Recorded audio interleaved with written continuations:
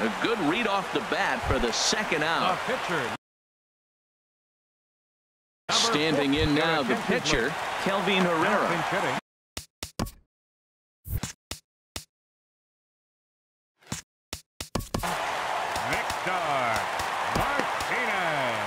Pedro Strop takes over on the mound now as he'll try to get the final out of the ball game here and pick up a save. Chop foul wide of first. He's ready. Here's the 0-1. There's a fastball that just misses ball one. Even at a ball and a strike, here's the pitch. Now a swing and a chopper foul right at home plate. Has them down to their final strike. Here it comes. And a slider just about gets away from him there as it runs in a bit too close for comfort. Out in front as this is pulled foul into the seats. Now another 2-2. And he'll stay alive here, but just barely as this ball's chopped foul at the plate, and the count holds at 2 and 2. And here's a ball hit in the air. And this is going to wind up a foul ball.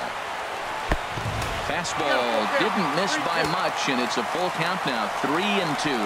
Well, you don't want to get caught. There's a swing and a drive hit well out to right field, and that one is gone on a two-strike count with two away. Charlie Zach Britton takes over on the mound. Now as he'll try to get the final out of the ball game here. Now action in the bullpen as their closer starts to get loose out there. And he'll hold off on the slider here to start the at-bat. It's ball one. Wow, that was a decent breaking ball right there, but that's just a pitch that's a little easier to lay off of when you're opposite-handed, opposite bat. You could see the sweep of the ball coming right into you. That was a great take. Now batting. Fielder. Carlos Beltran. First offering on its way. Hit hard up the middle.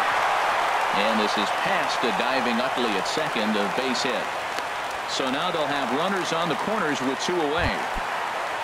Stepping in, Kareem Majum. He's the last chance with the tying and winning runs on base and two men gone here in the ninth. And that misses for ball one. Look out, 2-0 now. No strikes.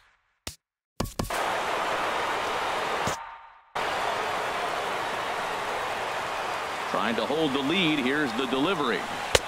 And that misses as well. 3-0. He's gotten himself into a little bit of trouble out here. Middle of the order up in a run-scoring situation, and now he might have to challenge him. Going to have to make some good pitches here.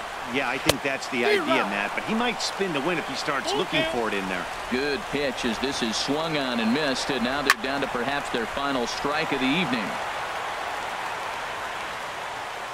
The 3-2 one more time.